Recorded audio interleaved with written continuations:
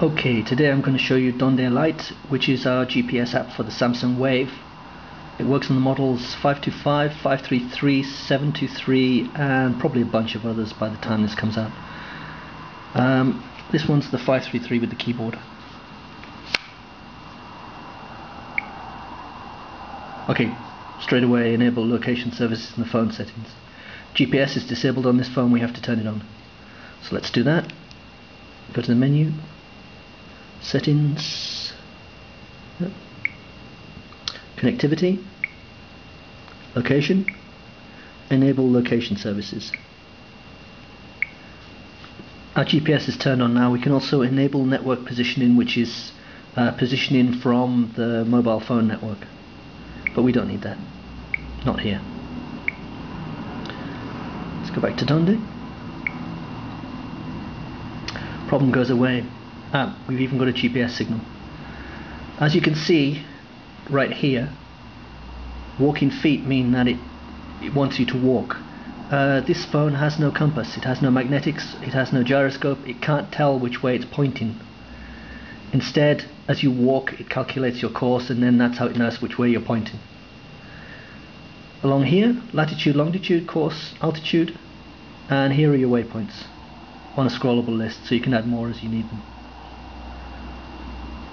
Now I'm going to flip to map view. You do that by sliding the compass across to one side. Compass, of course, the course direction. Uh, this feature uses the internet. Data transfers may incur charges. This is actually a browser onto Google Maps. And so it has to connect to the internet to do it. On the direction screen it doesn't connect to the internet. So it's connected to the internet and it's pulled down a map. And in the center you can see our location and the, the direction we're pointing. Now, on the side you have the zoom in and zoom out buttons. Get it back into portrait uh, so I can zoom out. And you'll notice as I zoom out it switches into terrain mode so you can see the mountains and the lake. And I can zoom in again and as we zoom in it switches back to street view. Along the bottom we have the waypoints. Again it's still a scrollable list. I can select a waypoint and it will jump so you can see it's shown two waypoints there a light green and a dark green centered on our, our selected waypoint. Let's zoom in on that. Uh, suppose I want to add a location here.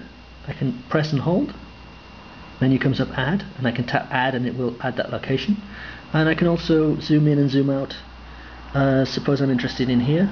Let's double click.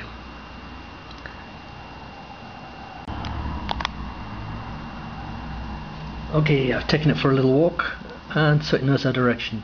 Uh, northwest basically. And you see the direction arrows for the waypoints.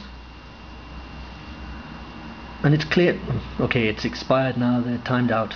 Um, it'll go back to the walking feet soon DondeLite is a GPS app for walkers. Unlike car navigation, it doesn't concentrate on turn by turn or one way streets.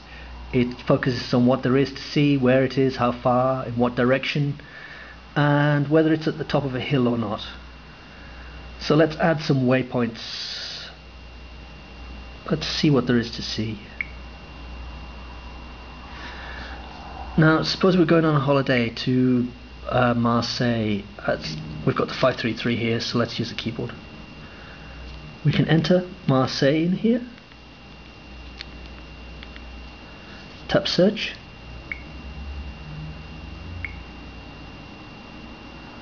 And it looks at the latitude and longitude of our uh, centre of Marseille. And let's also tap the altitude, so it's 49 meters above sea level.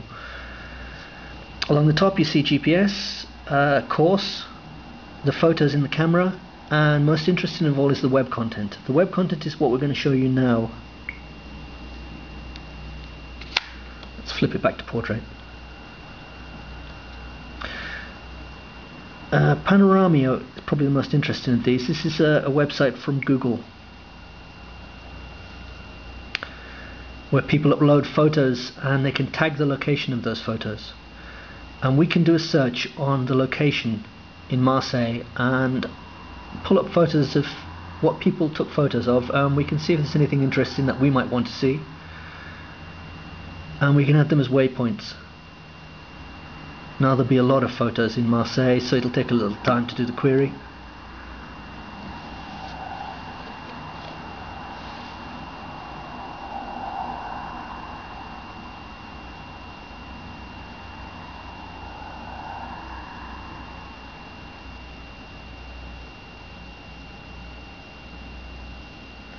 Okay, it's flipped to loading. What it's doing is it's loading down thumbnails of the images that people have uh, taken.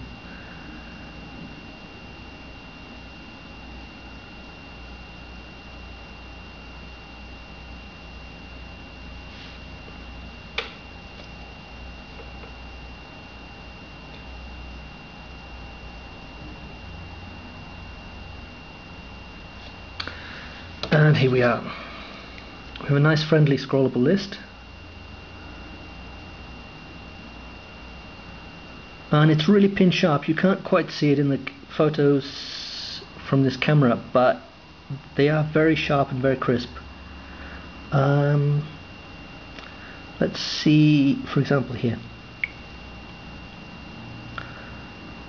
It'll pull down a medium-sized image now from uh, Panoramio. There you go. Sharpens up. This is the Theatre de Giraffe. If we had a course heading, it would show us in which direction it is, and it's 471 kilometers away from where we are. But if we were in the center of town, it would tell us, you know, 100 meters to the north. Uh, there's two links on here. I can click the link for the photo, and it'll take us to the Panoramio website. Or more interestingly, I can click on the person's link, and that takes them to their personal web page for this we know they visited Marseille, we know they took this photo. Perhaps they have more interest in photos related to this that we also want to see. So here we see the Panoramio site popping up.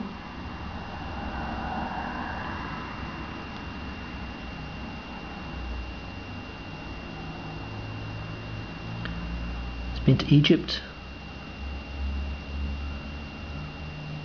I'm not sure that's particularly interesting.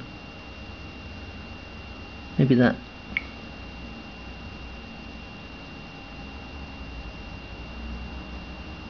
So I've just tapped on one of his photos. As you can see, I'm in a web browser viewing panoramio.com.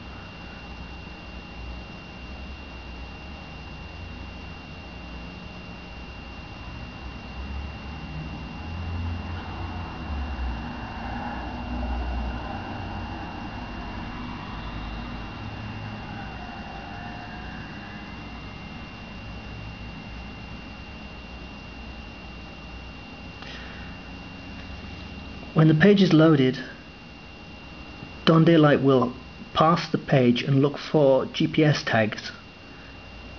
And from that it knows, yep, it's found one. Uh, so it has a latitude and longitude. So let's add this one. Oops.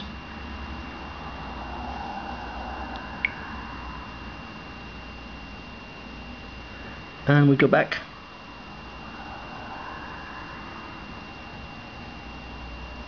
Back again and we're back at the photos and we can to add some more. For example I quite like this one. Arc de Triomphe in Marseille. Let's add that. And we go back to the and there's these two waypoints. I'm not sure this was in Marseille. Let's have a little look at it. So I select it I can swing across to the map view. Ah okay. Spain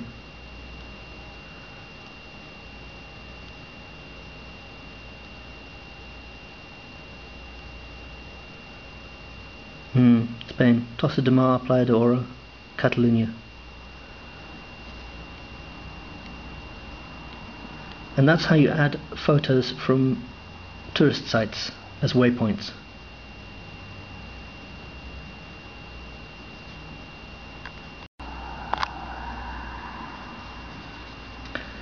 Now let me show you how to add a GPS location. Again, you tap add, you're in the GPS screen, we use the keyboard since we have it. When you first start this up, if you have a GPS fix, the latitude and longitude are your current GPS location. So if you just want to add your GPS location, you can just simply add, like that. And there it is, and we're here.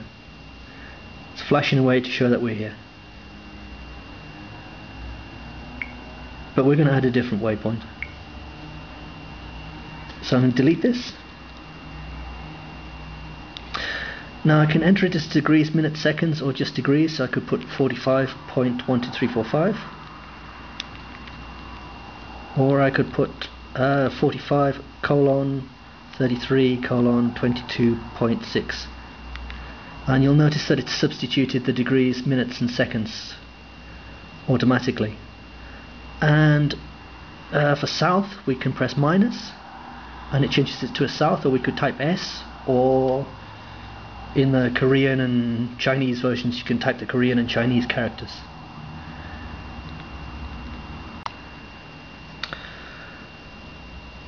Okay, let's add a fixed heading. A fixed heading is where you travel in a particular bearing,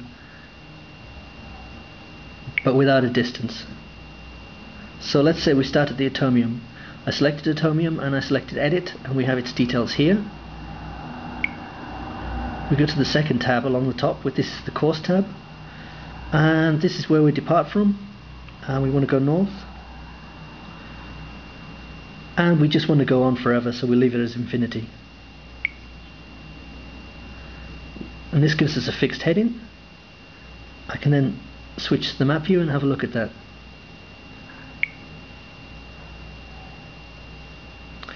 And there it is a northern line going off into infinity.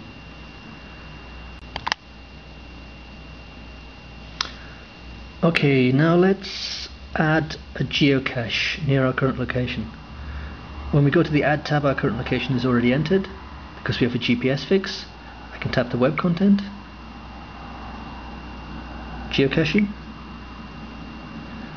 I've just logged in already uh, so I don't need to log into the geocaching website again.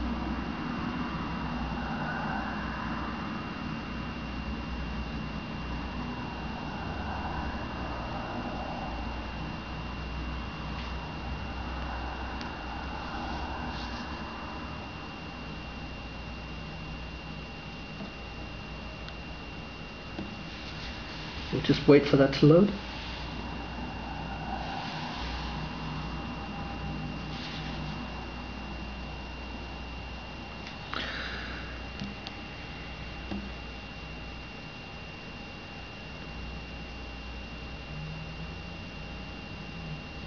and there's a very small cache here.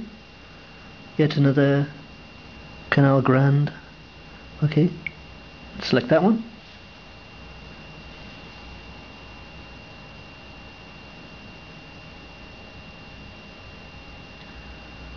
Now along the bottom you can see we have a waypoint bar. If it finds a geotag on the page it will display the details of it here.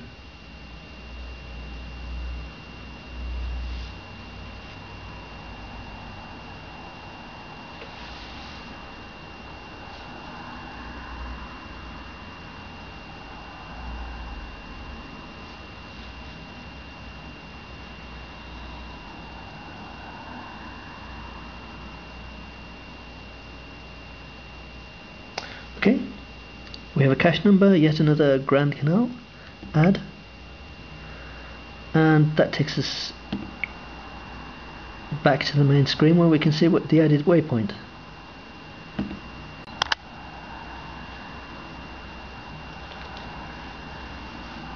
Now suppose we are on holiday and we want to find a hotel near our sites. Uh, we can do that quite easily. Let's for example find a hotel near this Arc de Triomphe in Marseille. We select it, edit, the Arc de Triomphe's details are here. We go to web content, hotels,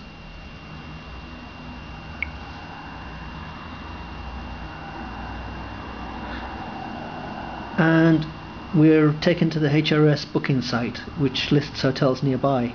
Change the dates, single room, double room, search for a hotel.